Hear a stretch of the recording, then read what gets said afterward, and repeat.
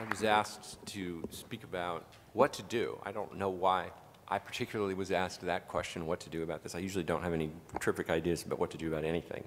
Um, but I thought about it, and I came up with seven options. And I'm going to list them in sort of ascending order of effectiveness if they could be pulled off. And I, I, mean effectiveness in the sense of would this work if we could do it, not how realistic is it that we can do it. Um, so one, infiltrate these companies. Two, apply shareholder pressure. Three, boycott them. Four, use state power against them. Five, build parallel institutions. Six, wait for the SALT to collapse. Seven, accelerate the collapse. Okay? so let's, let's go through them. Um, I'll try to yeah. infiltrate them. All right, um, meaning like tell, I'm a college professor, so I have students come to me all the time and say, oh, you did X or you did Y in your career. I'd like to do that too. How do I get into that? And I you know, I'm honest with them. I tell them how I, how I did it, but I also try to tell them, look, there, there are costs to this, and it's a, it could be a problem for you, and you need to think about it before you decide to pursue this particular career. Um, this would be essentially an attempt by the right to do what the left, the so-called long march through the institutions. Are we capable of doing that, of recruiting all of these people and, and doing what to these institutions what the left did to them over the last 50 years? I have my doubts as to whether we have the organizational capacity and so on and so forth. I also, we also, before we would encourage, before I would encourage any student of mine who says, I want to go to New York and join, you know, some big corporation, um, I have to, I, I'm honest with them and tell them what they're up against. And if you send them into one of these institutions, you know, they're not going to be joining a, a, big company in 2005 like I did for the first time. They're going to be joining it in 2021, and they're going to have a very different experience. And to be a dissident within that company is going to be hard for a lot of the reasons that Chris said. You can either, you can try to shake things up, uh, in which case you're going to be putting your career at risk, or you can sort of keep your head down and be quiet and do your job and make money, in which case you're not really performing a long march to the institutions, you're just burrowing in. And I don't know how effective ultimately that would be. Um, shareholder pressure. I know I, I, I never, uh, we had a speaker ask a question about this, and Andy talked about it too. This is effective. I agree it's effective. But again, what we can do seems to me to be pale in comparison to what the left does in two senses. One, I, you know, I, I remember the very first time I went to an annual meeting. I'd never been to one before, and um, it was in Manhattan in 2005, um, in my first job out of government. Um, and I, you know, oh, the annual meeting, you should come and watch this. I thought, oh, sure. And I just, and uh, it was, it was News Corp for what it's worth, the pre division News Corp, which is now two companies. News Corp owns the, sort of the newspapers, and 20th, 21st Century Fox owns the TV properties. But back then, they were one company. And Rupert Murdoch was and is the chairman, and he just had to sit there and listen to people come up to the microphone and harangue him in really ungodly bad terms. And I thought I was shocked by this. I was like, I can't believe this is happening. And I, I like, went out to the lobby at one break and I called my father, who's been a corporate lawyer for years. I, I can't believe what I'm seeing. So, well, I explained it to him. He goes, that's, that's, what they do. I mean, they let off steam. This is just theater. You, you, you're, you're like the young horse who hears a car backfire and freaks out, and you look around, all the other horses are still chewing grass. You need to hear it a couple of times and you realize this is, this is just sound and fury. Except that it isn't really. The, these activists can apply, and can and do apply pressure that shareholders listen to because they want it more. They want it more than we, than our side. And this is, this is a problem conservatives have across the board is, you know, there's always the, a little share of the population for whatever that cares deeply about some issue that will make noise and cause trouble and, and, until they get their way. And our side tends to want to go about their business and do their jobs and live their lives. And we, they, we don't want it as much. And so we let them have their way. And the other problem on the shareholder pressure is, Andy talked about, I was, at my last job, I assume for the rest of my life in corporate America, was at BlackRock, of all things, um, which is, as Andy said, the number one, two, or three shareholder in most companies. It's a humongous firm and with enormous outsized power. When I left five years ago, was it five? I guess it was four. Um, at BlackRock was $4.7 trillion under management, AUM. It's nine today. In four years, it's almost doubled its AUM, right? Its power just keeps getting more and more immense. BlackRock famously, for the longest time, didn't used to vote its shares, right? And they turned on a dime at a certain, I don't know exactly when, but they turned on a dime and said, no, we're not only are we going to vote our shares, we're going to vote them only in the, the terms that have been described here. Like BlackRock never takes a stand for anything conservatives care about, ever. They often take stands for things conservatives oppose. How I'm all for applying shareholder pressure wherever possible, but we have to keep in mind that the, the other side's ability to apply it, both through these institutional investors and through the activists who simply care more, is greater, I think, than ours. Um, the, the third is boycott them. Um, as Rad said earlier, conservatives don't boycott. In general, I think he's right. I mean, it's, it's first of all, because we don't care as much. The left cares more. So, you know, if you you know uh, want to, it's hard to boycott. You got to keep a list of all the things that you won't buy. You got. I, mean, I have friends of mine going back years, who say, "I'm not going to buy anything made in China." First of all, try finding something that isn't made in China. Okay, but let's say you can. You can keep extensive lists. You're going to have to look look at the packaging on every decision you make, and who who's going to, you know, how do you? Some people who really really care are going to um, uh, go to that length, that effort but very few, I think, are. It's hard. I don't. I don't see us mass mobilizing our side to do that. Now there are uh, these re recent exceptions. Uh, you know, I I know a lot of people were um, ticked off at Coke. You know, I, I remember. You know, I, I, read emails from people. I'm never drinking another one of their products again. And it was enough, I guess, to at least scare Coke or hurt them temporarily. I don't know how long that's going to keep up and that's going to last. But um, I, would say, though, if we could do this, if we could actually organize this to say, you do this, we'll boycott, or we'll, you know, it would work. It would definitely work. And maybe Azarad's, Azarad's point, you know, conservatives don't boycott, maybe that's true up until the point that it isn't. Maybe people will start to get fed up enough that they'll say, you know, I mean, look, I, I grew up in California. I, have been I've been going to Disneyland since I was a little kid. I took my daughter there, um, I don't know, five, six years ago, and my son's never been, and at this point, I don't think I would ever go. I'm just, you know, I, first of all, I don't know that he cares that much. If you kind of grow up on the product, maybe you do. But like, you know, is that's a personal decision that I made. Is that going to be enough to mobilize conservatives more broadly? I think it could be if we put some more energy into this. Um, the fourth, use state power against these companies. Now, this is a this is a particular problem for conservatives because of their ideology. They will say, and they often do say, um, um, you know, these are private companies, they can do what they want, sort of. Um, um, we can't interfere in the judgment of the market and so on and so forth. Well, it, it, was a Republican, albeit a progressive Republican, that the Claremont Institute has mixed feelings about, I will say, named Teddy Roosevelt, uh, who used state power to bust trusts that had accumulated too much authority over the economy and society at the turn of the, the prior century. Republicans have been completely allergic to using state power in this way, even against companies that uh, companies and industries that are absolutely there. Sorry, I can't think of a better term for it. Not one that is in any event more accurate. They're enemies, right?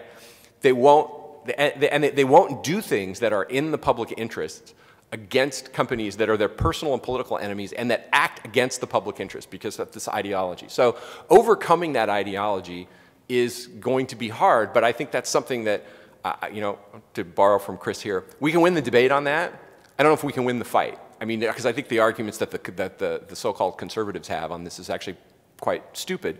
The debate is fairly easy to win. Getting actual people elected who are willing to use state power is harder. I, I've heard, you know, we heard, we hear promising noises sometimes from the Senate, from Hawley, from some others.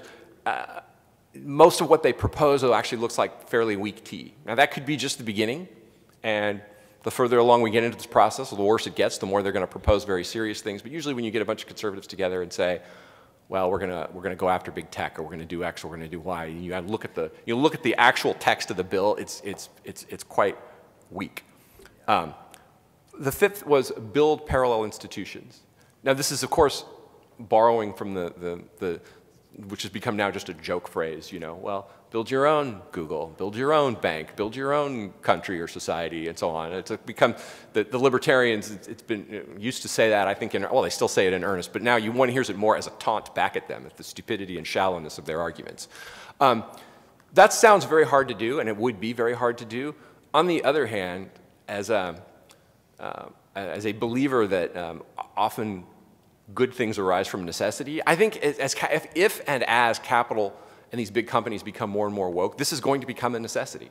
Well, the more people get unbanked, somebody's going to come along and say, I'm going to build a bank that's going to allow you to put your money in, and I'm not going to go scour your Twitter to see if you've said a bad word before, and so on. I think this could happen. Now, then, then what will happen, of course, is the, the, the regime, which is a combination of the government and, and these woke capital institutions, will find a way to lock these parallel institutions out of the systems to make them unviable, which means that they're going to have to turn the screws of their tyranny to a much greater degree than they've done so far.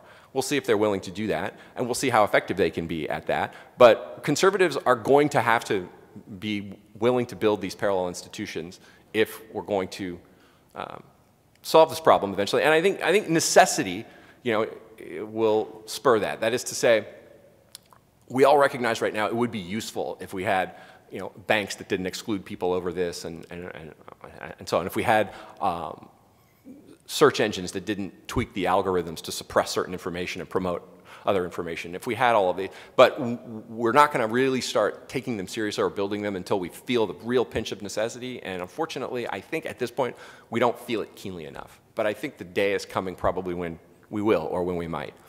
Um, sixth is wait for this all to collapse and go away.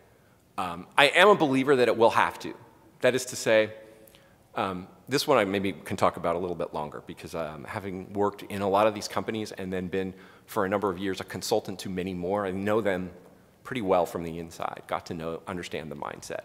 Um, they're willing to sacrifice a certain amount of profit and a certain amount of competence for a certain amount of time to virtue signal. So you, they, they kind of go through their argument in stages. One is, this doesn't cost us anything. Doing all this stuff actually makes us money. We do better when we adopt woke policies, when we hire on, on, on a basis other than, you know, strictly merit or the best person for the job and so on. And they, they come up with all of these rational, uh, rationalizations, arguments for it. Um, layer two is sort of, well, we might lose a little bit at the margins, but it's, um, uh, it's, it's more than compensated for by all the things that we, we gain. Um, level three is I'm willing to pay a price for doing the right thing. I mean, we heard a couple of quotes along those lines. I think Peterson quoted, you know, Phil Knight saying that. And, you know, I mean, woke CEOs are not new. Uh, I would say, though, for one thing, Phil Knight, just as a, not that I've ever done any work for them, uh, but uh, he's a little bit of an outlier in that, you know, he's a, he's a real 60s guy who went in with that, the idea of making this company as kind of flower childy as he could, sort of like Howard Schultz at Starbucks. So I don't know that, I don't know that he's, he's quite as representative. He's more vanguard. Um, but they all eventually get to the point where, well, I'm willing to pay a price for doing the right thing. But Andy is certainly right that the purpose of these companies is profit. And we will see, we will test the economic laws of gravity if they can continue paying these prices forever and not see profitability go down, efficiency go down, eventually the stock price go down, and, and eventually these places just stop functioning the way they're supposed to, and the shareholders bail. We're certainly not at that point right now. Um, I just checked on my phone to see what, you know, when I left um, BLK, uh, the stock was in the 400s. Um, it got under the Trump rally in 20, uh, the first year of the Trump administration, it got all the way to about 590, and then it went back down and it was in the kind of in the four, three to 400s again. Well, it's been doing great lately. It's at 850 right now. So these places are not, they're not suffering yet from any of these decisions, but if economics works the way you know, the old textbooks, the ones that told the truth about supply and demand and things like that, works the way we think it does, they'll eventually pay a price for this and the system will break. You can't keep making decisions that don't have to do with your core, that, that, that, either have nothing to do with your core business or that are antithetical to the interests of your core business and keep expecting profitability to go up and the stock price to go up forever. But, okay, segue to number seven, which is wait for the collapse. So that, sorry, six was wait for the collapse. Seven was accelerate it. Well, why wait? Um, why not, you know, why not see if we can turn the screws on them a little and speed this process up? Say, wait a minute, you said you, your board has to be only 5% um, you know, hires based on criteria other than, well, why not make it 100%? You know, why, not, why, why shouldn't the conservatives kind of start just concern trolling the heck out of woke capital and saying, you are not living up to your stated principles. If you are living up to your stated principles, here are the, here's the list of things you would be doing, and just we put our own pressure on them and say, you got to adopt all of these policies in order to be, in order to have a clear conscience and to be standing up for what is right.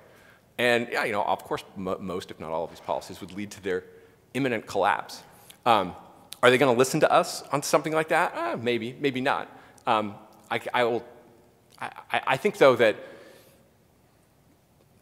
it, it, I don't know if it'd be more effective, but it might be, it might be somewhat effective. As, as Chris says, calling out hypocrisy doesn't never, never works. They, they, A, they don't care. B, hypocrisy is priced in. And C, hypocrisy actually becomes part of a point of pride at a certain point um, in the way these companies op operate. But telling them, you know, uh, if, you, if you say you stand for X, but you're doing Y and Z, that's wrong. You need to, you need to go all the way. Um, uh, that, does have some, that does have something of an effect on them. Um, so now, uh, all of that, I think, as I said, an ascending order of effectiveness in the sense of would it work or could we pull it off? Not, not in the sense of could we pull it off. Um,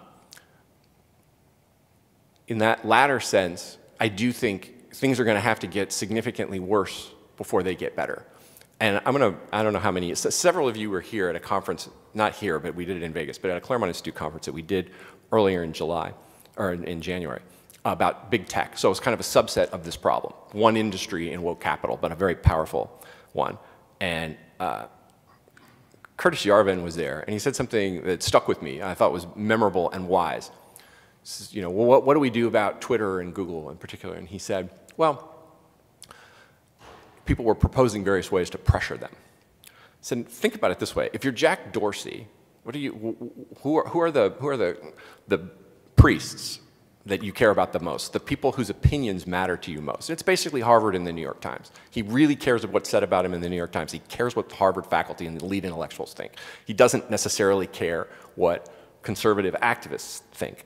Um, is it possible for us as a group to put more pressure on Jack Dorsey than Harvard and the New York Times puts on Jack Dorsey. So he's pressed from both directions, right? But on the one hand, it's a boulder that will run him over and squash him like a bug. And on the other hand, it's a, you know, it's a 98 pound guy kind of going like this.